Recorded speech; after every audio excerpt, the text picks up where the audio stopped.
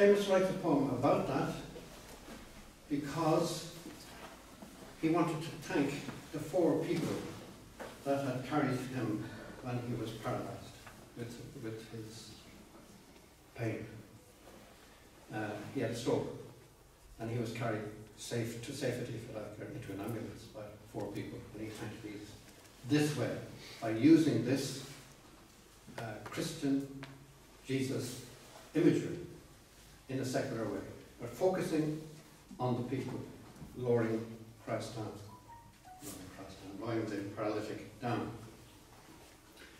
I was asked to edit eight issues of the magazine The Poetry Ireland Review, and for the eighth one, I said I'm going to do my own thing, and I'm going to ask the poets that I know around the world to write a new poem and respond in a new poem to the question that Jesus asked his disciples, which was, Who do you say that I am? I thought this was a very silly idea, and that the academics would floor me, and that the poets would be very polite and tell me to go away, please. Um, and I asked two people, first of all, do you think this might work?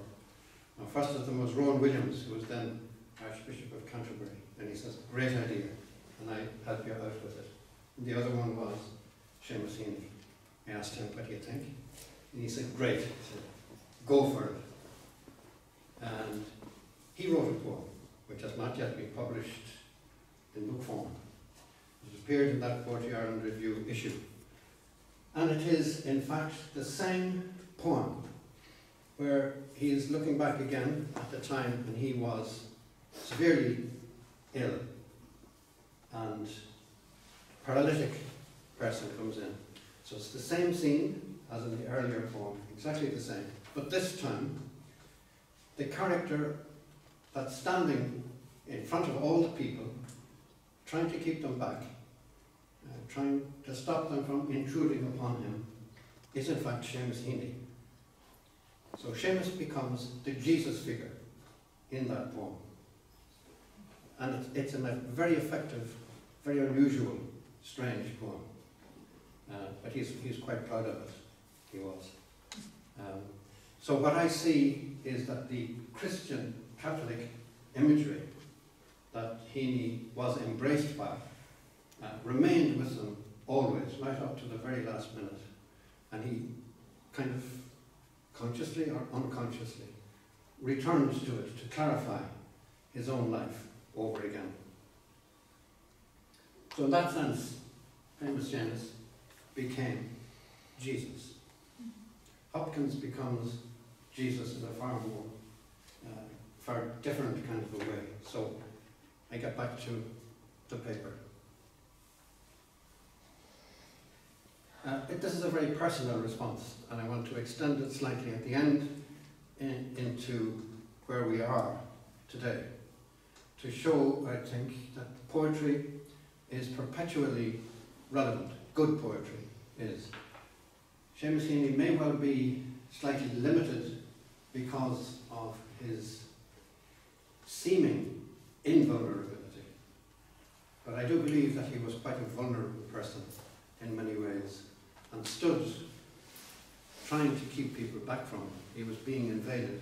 His personal space was being invaded in, the latter years, he did not know how to say no. He was such a gentleman. Um, so, the world itself, the physical universe, in Hopkins' sense of thing, things, is shot through with sanctity. There's that God's grandeur poem that you referred to. The universe, for Hopkins, is the bones of God. It's the body of Christ. It is the atmosphere we breathe in and breathe out from. And this is a, a, a stanza from the Wreck of the Deutschland. I kiss my hand to the stars, lovely asunder starlight, wafting him out of it, and glow, glory in thunder. I kiss my hand to the dappled with damson west, since, though he is under the world's splendour and wonder, his mystery must be instressed, stressed. For I greet him the days I meet him, and bless when I understand.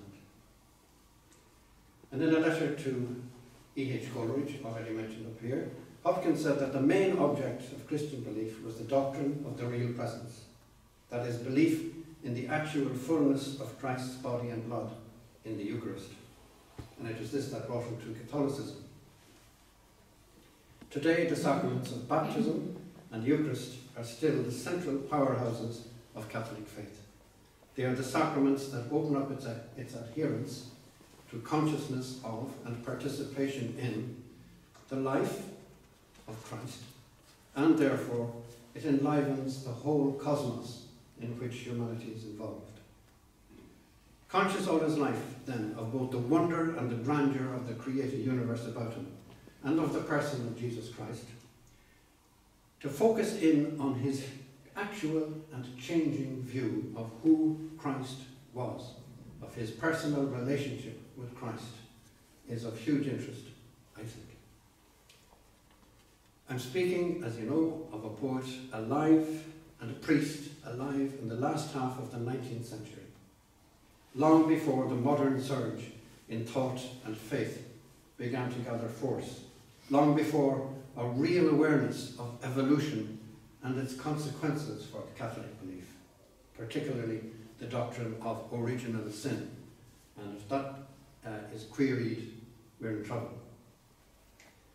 An early poem of 1864 is called New Readings, Mrs. Hopkins. And this is the first stanza, which is based loose, loosely on uh, Matthew's Gospel. Although the letter said, on thistles, that men look not grapes to gather. I read the story rather how soldiers, plaiting thorns around Christ's head, grapes grew and drops of wine were shed. Not a very promising start for a poet, but this is a young poet practicing his craft and already very thoughtful about the Christ, where those grapes that grow into wine become emblems of suffering, opening out to joy. About a year later, Hopkins's fluency with the sonnet form comes together with a slightly more promising relationship both to poetry and to Christ.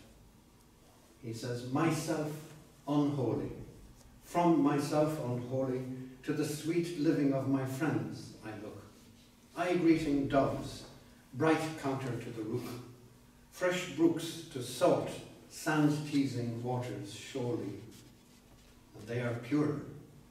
But alas, not solely the unquestioned readings of a bloodless book. And so my trust, confused, struck, and shook, yields to the sultry siege of melancholy. Course, he can't really trust even his great friends. He is a sin of mine, he its near brother. Knowing them well, I can but see the fall. The fault in one I found, that in another. And so, though each have one, while I have all, no better serves me now, save best. I can't just be better than these. I have to be the best. No other, save Christ. To Christ I look, on Christ I call.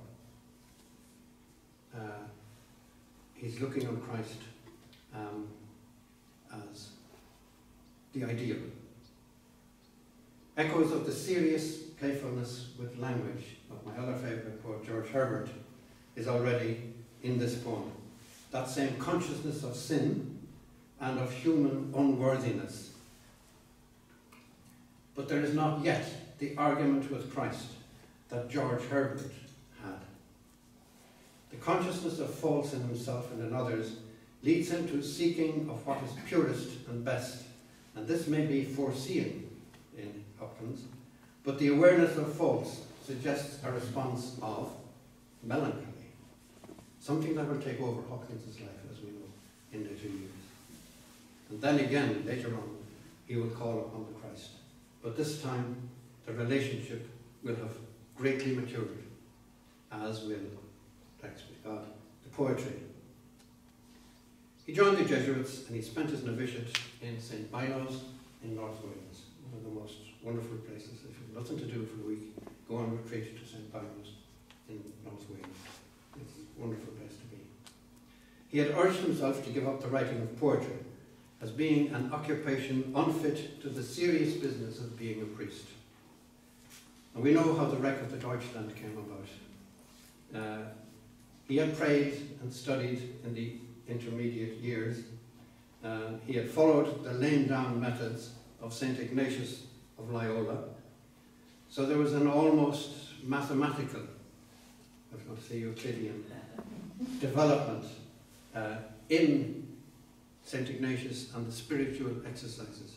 You do this, you do that, the other. This is the way to pray. You, you image this, you image that. All laid out very carefully and accurately to bring you to God. So this is the way Hopkins was at, at this stage. And then when the ship, the Deutschland, sank, and uh, there were five nuns aboard. Hopkins focused in on these and uh, he was struck that the five nuns of the Franciscan order had been expelled from Germany, and one of them, whom he called the chief sister, he described her as a gaunt woman, six feet high, calling out loudly and often, O Christ, come quickly, till the end came. This pushed Hopkins to think more closely in the poem The Wreck uh, of his own relationship to Christ. So when he was urged to write something, it flowed out from him. And as Gail also picked out earlier on, he has this little stanza. I did say yes, O at lightning and lashed rod. Thou heardst me truer than tongue, confess thy terror, O Christ, O God. So the Christ now is very, very present to him, but present in a a kind of objective way, out there, a way forward, a mathematical way forward even. But there is the personal thing inside himself, which has been suffering melancholy already, and he says he's gone through a period of what he calls terror, and the Christ is now kind of a terrifying figure.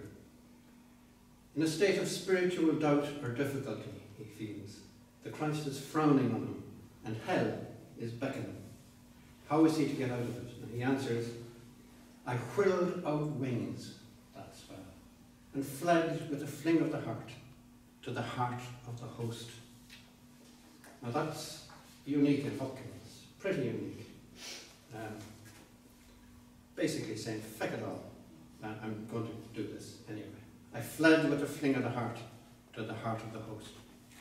Um, it's a beautiful moment. In other words, I said, oh, you know, with all of that, I believe.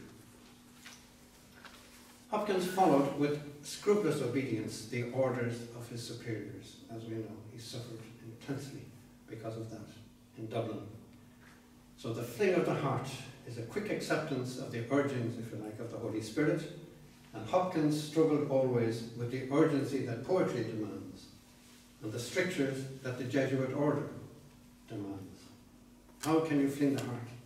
And write kind of uh, inspirational poetry that he asked for, which he described as the roll, the rise, the carol, the creation.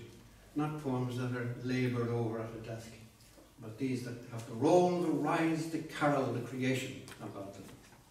And how can you do that when the Jesuits, bless their hearts, are telling you, go this way. Uh, examine 750 papers of Greek history, uh, letter by letter, you know, as his eyes were going. But he did.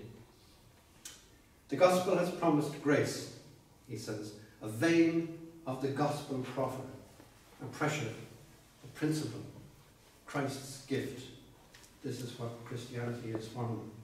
Christ's gift, a vein of the gospel proffer, what has been promised us. And then he goes on outlining where this grace comes from. From Christ's incarnation. He says it dates from the day of his going in Galilee. It dates through that, through the passion, and it's only when the human heart is suffering and is, quote, at bay, that the person will call out in anguish for help. So when you're deeply in pain, deeply suffering, uh, you call in anguish help. This is where the terrible sonnets of his Dublin period also uh, partly came from. He says, Hither then, last or first, to hero of Calvary, Christ's feet. Never ask if meaning it, wanting it, warned of it, men go. So if you're suffering deeply, that's when you call on God, call on Christ. And that's when you want personal response. So talking about the nun who was up in the shroud trying to console everybody else, he asked himself what she may have meant when he, she called out for Christ. And he says, was it calling on a master, her master and mine? What did she mean? Was it to suffer death as Christ had done? And he quotes, I quote, or is it that she cried for the crown then, the keener to come at the comfort, for the feeling of combating keen? Suffering so much, now I want the crown that comes after. His conclusion is that Christ tests the soul and Christ brings the relief. There then, the Master, ipse, the only one, Christ King, head. He was to cure the extremity where he had cast her. Um, so Christ wins glory in Hopkins's view. And Hopkins, in a very late stanza in the Wreck of the Deutschland, offers a hymn of praise to that Christ. Now born, new born to the world, double natured name, man and God. The heaven flung, heart fleshed, maiden furled, miracle in Mary of flame. Mid numbered he in three of the thunder throne, Father, Son, and Holy Ghost. Not a doomsday dazzle in his coming, nor dark as he came. So, not always necessarily through doomsday or suffering, kind sometimes, but royally reclaiming his own. A release shower, let flash to the shire, not a lightning of fire, hard hurled. The poem is a tour de force, um, and it opens Hopkins up to, to poetry and to the inspiration uh, that he had quelled, and it flows out of him, and especially in St. Beuno's in North Wales. Um, it is a very, very beautiful place. I spent some time there. Really lovely. Um, mind-boggling in its physical beauty. He wrote there a poem, which I will quote in full. It's an easy enough to understand. It's called The Lantern Out of Doors.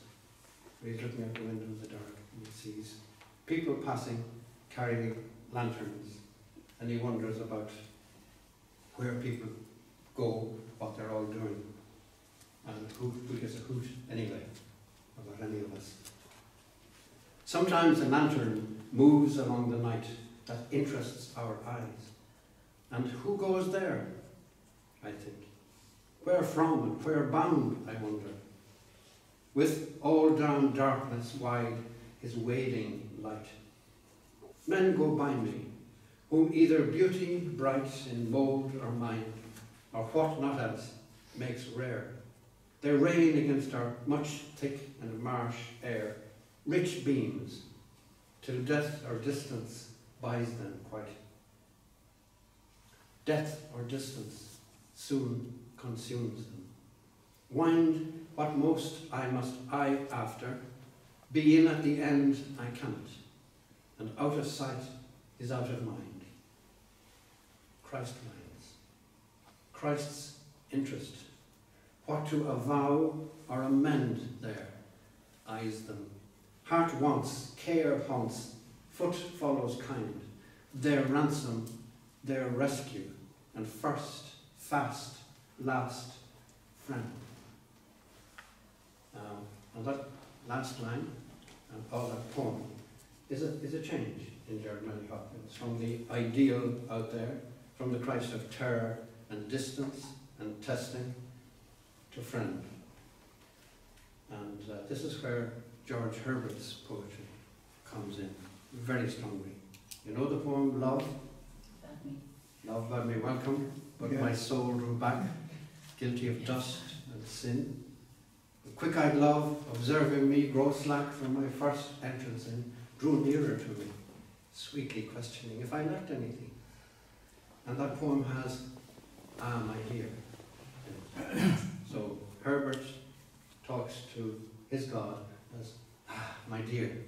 Hopkins uses Ah, my dear in the Windhover, but in a slightly different context. So he is, he is borrowing from Hopkins, not just the language, but the whole notion of Christ as friend. Very, very important. Then there came another wreck. A wreck must be a great thing for writing poems about. This is, I'm never certain how to pronounce it. The Eurydice, the, the loss of the Eurydice is the name of the poem. Though the song uh, is Eurydice. So you can't say the loss of the Eurydice. You have to say, I think, the loss of the Eurydice. Um, in 1877, Hopkins had left Beuno's and had moved to Stonyhurst for theology. And there he taught classics. And that's where his life really began to deteriorate. Teaching classics, not necessarily teaching classics is a, a, a passport to hell, but uh, for Hopkins and his belief in complete and utter obedience and following the letter of the law, it is, it was, death sentence. Now he found it difficult to write with all this other stuff going on, but the Eurydice got him stirring again. It was a training ship and was on its way home after a stint in Bermuda. And you know Hopkins was an Englishman to his fingertips, um, a British, British pro-Brexit guy, um, and a military man. He loved military standards, march pasts, and all of that kind of stuff. There were 327 sailors, trainers, trained on board of this, and many of them were young men. The ship ran into a freak gale off the Isle of Wight, and all but two of them were lost. They were drowned. So that's around 325 young British tars. Hopkins used to holiday with his family on the Isle of Wight. And this time he wrote a very, very different kind of poem to the Deutschland. This is far more of narrative and a tribute to the youths. And his thought is sudden death for young lads. Had they been to confession? No, probably not. If they hadn't been to confession, are they dying in sin? The Jesuits would say, back then, Catholicism would have said back then, if you die in mortal sin, you're in hell. That's it. So Hopkins says, uh, De Eurydice, it concerned thee, O Lord. Lads and men, her laid and treasure. Death, teeming in by her portholes, raced down decks, round messes of mortals. And he's worried that they were caught so suddenly, they well may be, what he calls, in unchrist. In unchrist. Uh, lovely old word, unshriven. And he wonders why, if that is the case, why his master would allow that. Why would Christ allow that to happen? He does not pursue the question. Uh, he simply urges prayers. He wasn't theologically, I suppose, developed enough to actually pursue that very serious question. He says, But to Christ, Lord of thunder, crouch, lay knee by earth low under, and pray, holiest, loveliest, bravest, save my hero, O hero, savest. Um, already hero he used earlier on, the hero of Calvary, Christ's feet. And if you know the most beautiful uh, Anglo-Saxon poem called The Dream of the Rood, uh, Christ is seen in that 8th century poem as a hero, crying, uh, climbing deliberately and consciously onto the cross in order to save everybody else. Uh, this is the medieval view of Christ as a great hero rescuing us all. So Hopkins now has him as a friend and he has him as a hero. Now there's a sonnet called As Kingfishers Catch Fire. Uh, one of the ones that Seamus Heaney also actually loved very much and spoke about. Um, this is also, if theologically I'm not terribly clear about it, Duns Scotus, the Scotist idea of inscape and instress. Uh, if you look at somebody, you can see them in their wholeness. Um, and if you look long enough, you can get the inscape of them. So each individual has his or her own inscape. As Alice was pointing to the tree, uh, the tree had an inscape.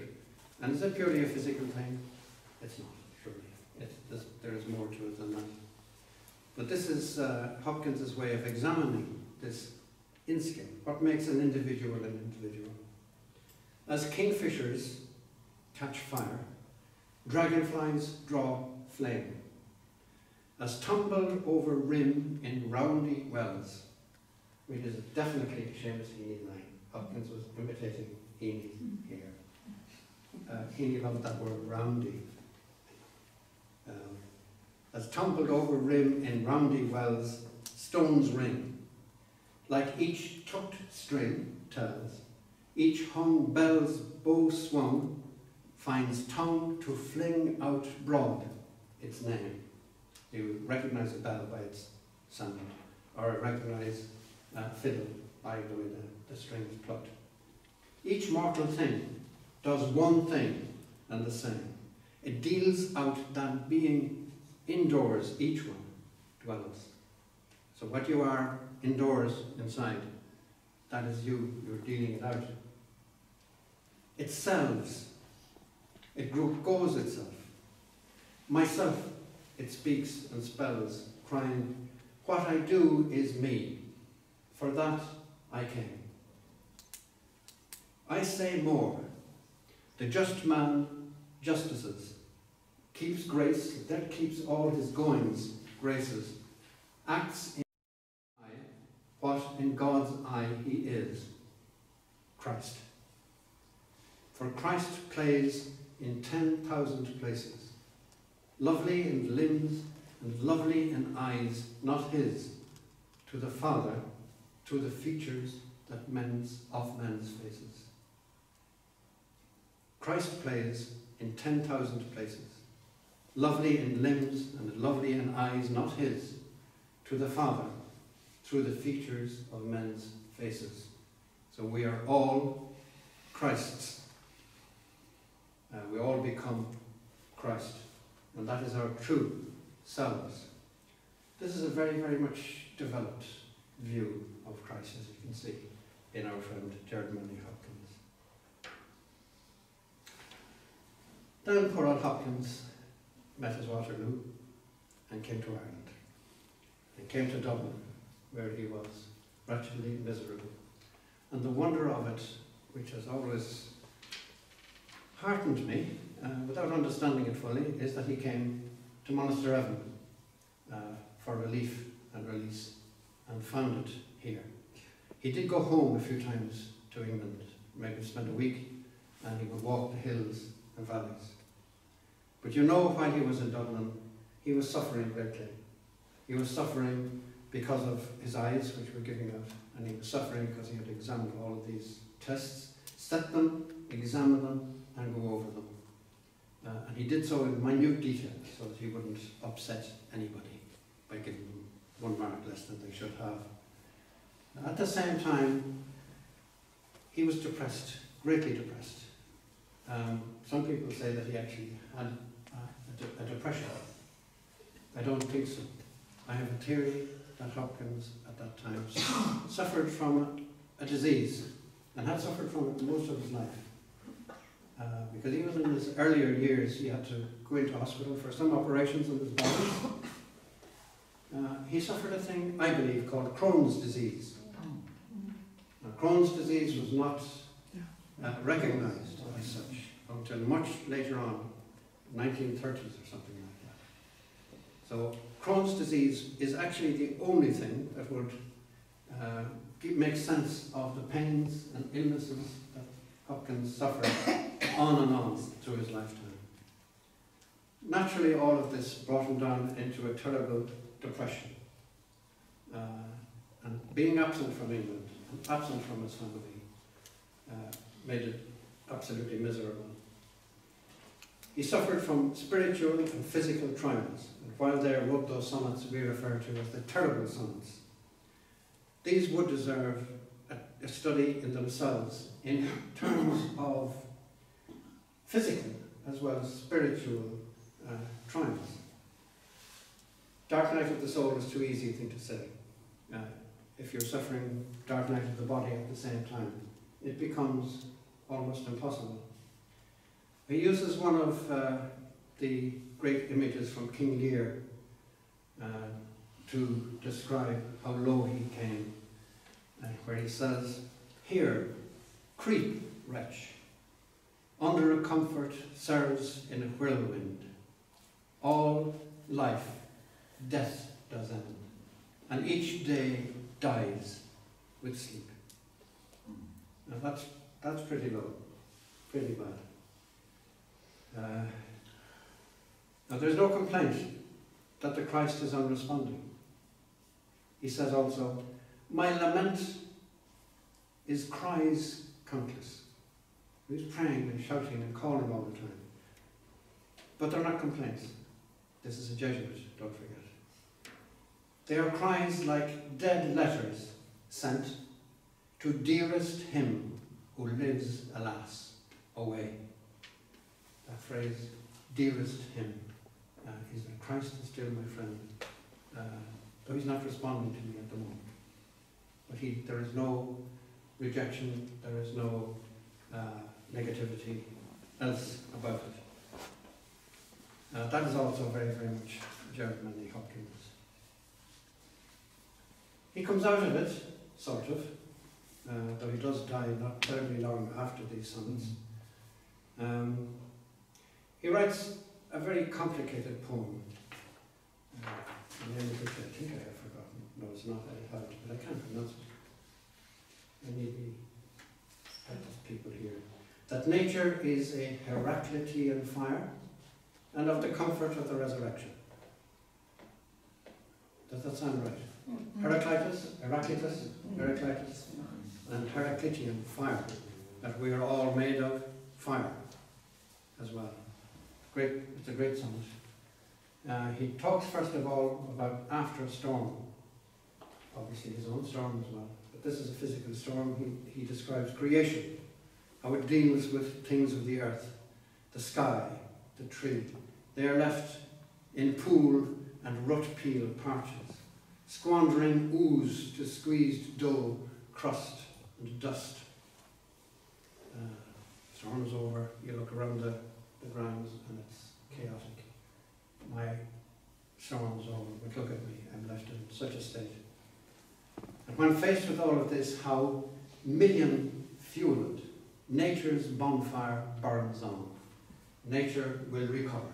Nature's bonfire carries on. In God's grandeur, he says, but for all this, nature is never spent. There lives the deepest freshness deep down things. And he's searching for that himself. There is a human fragility in suffering. He says, man shape that shone sheer off, disseverable, a star doth blot keen out. Nor mark is any of them left at all so stark, but vastness blurs and time beats level. In other words, man disappears. There is no recovering after a storm like that, like the earth recovers. Man is gone. And then he says to himself, this is an act of will. Enough, he says, the resurrection. Enough, the resurrection. It's right in the middle of this poem, which is heading towards bleakness again, and he said, no, enough of this now. There is the resurrection. We are reborn.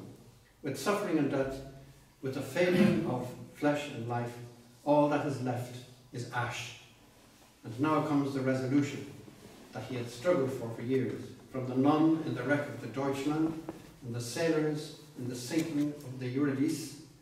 He knows that all must, all must come to hero of Calvary, Christ's feet.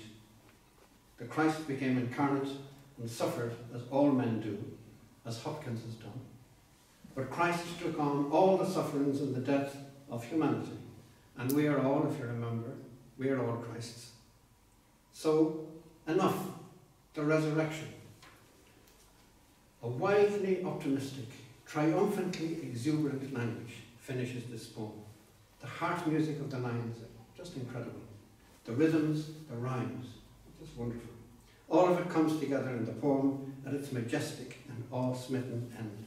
In a, excuse me, in a flash, at a trumpet crash, I am all at once what Christ is, since he was what I am. And this Jack, Job, this poor potsherd, patch, matchword, immortal diamond, is immortal diamond. So now suddenly I'm immortal diamond uh, because of the resurrection. Christ in his death and resurrection has overcome the flux that Heraclitus or Heraclitus consigned all of creation to. Here is the destiny of man, as the critic John Pick has written of this, his divinization in a human mode as Christ. This identification with Christ that Hopkins found his way to became a fate for him in his deepest darkness and suffering. And this theme has become common and central to Christian thinking in our times. So I quote from uh, a wonderful theologian of our era called Cardinal Walter Kasper, German. In a book called Jesus the Christ, he says, Faith means ceasing to rely on one's own capabilities, admitting human powerlessness. You admit that, you take on the Christ, and you move forward.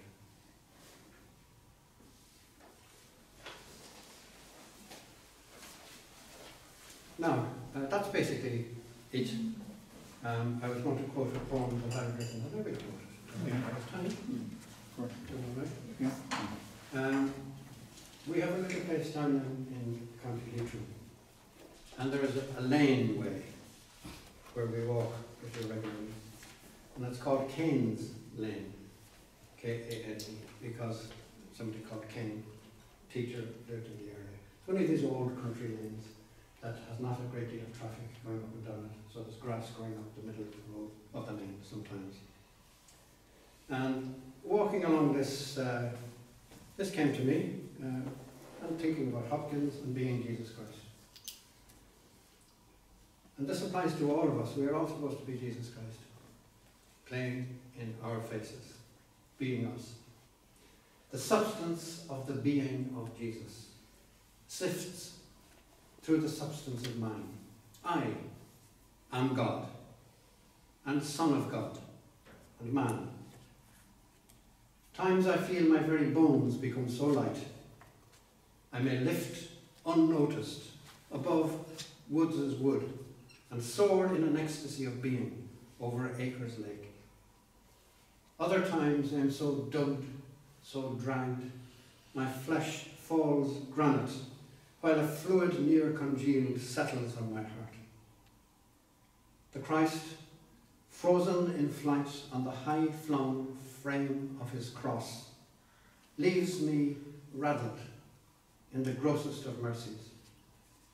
And I walk the length of Kane's Lane on that ridge of grass and cress and plantain battening down the centre. I sex my tongue on the flesh juices of blackberries, cinch my jaws on the chalk bitterness of sloes. I am certain and unsettled. I am lost and found in my body. I am sifted through a narrow and serpentine love lane stretched between dawn and night. It's a sense of, uh, of being divine and being human at the same time. Now, if all of humanity is redeemed in Christ, these are all big ifs, then this Christ identity is universal. If all of humanity is redeemed in Christ, Christ identity is universal. We can all say, then, with some sense of its truth, its way, and its life, that we are Jesus, for he lives within us, whether we may be aware of the fact or not. Hopkins says, I am all at once what Christ is, since he was what I am. And that we too are immortal diamond. Which is what I felt exactly when I saw a photo in our newspapers of a Syrian three-year-old boy of Kurdish ethnic background, whose image made global headlines after he drowned on the 2nd of September in 2015 in the Mediterranean Sea, and was gently, very gently, washed up on the shores like a piece of flotsam. And if you look at the photograph of it, the child is lying there as if he's asleep as if the Mediterranean Sea is conscious that it has something beautiful and sad here and is handing it gently back to us. Look at what you're doing. And I wrote this uh, thing which I call refugee. This, then, is the Christ. They named him Alan, Alan Kurdi. He is three years old. Red t-shirt, short sleeved. Navy blue shorts. Shoes navy blue. He has been washed ashore. He lies face down on the wet shingles. He is helpless. He has been helpless all his life. He was obedient in everything. He was lifted aboard a crowded dinghy. He had few words. He is the Word. In him all things were created, and in him all things hold together. We are part of humanity. We are involved in humankind. We are all part of a developing universe. We are, engaged, we are engaged in an evolutionary force that works its way towards, as far as we can see, deeper consciousness and optimistically a unity in love that is cosmos-wide in the care and under the direction of God. Therefore, we are involved in the loss of that child. The substance of the being of Jesus sifts through the being of Alan Kurdi and through us all. As Hopkins did, we may become aware of our involvement in the world, and I do believe Hopkins was way ahead of his time in some subterranean consciousness of an evolving world, a world evolving towards the Christ, which is uh, Teilhard de Chardin, and a later development uh, of Teilhard de Chardin's thinking by Ilia Delio. Um, this is my theological offering of the day. De Chardin followed by Ilia Delio. Read those two. They're both extremely readable. um, people, moving all of this forward. As Hopkins did, we become aware of our involvement in the world, and through the death and resurrection, through the being of Jesus the Christ, we live and grow and love, caring for each other and for all creation, and in the process becoming one with Christ, the Omega. In all of this contemporary awareness, Hopkins in 18, mid 18 to late 1880s, in all of this, Hopkins was already deeply involved and had, in his last months, become Jesus Christ in his own way. Is there? That's. Thank you. Well done.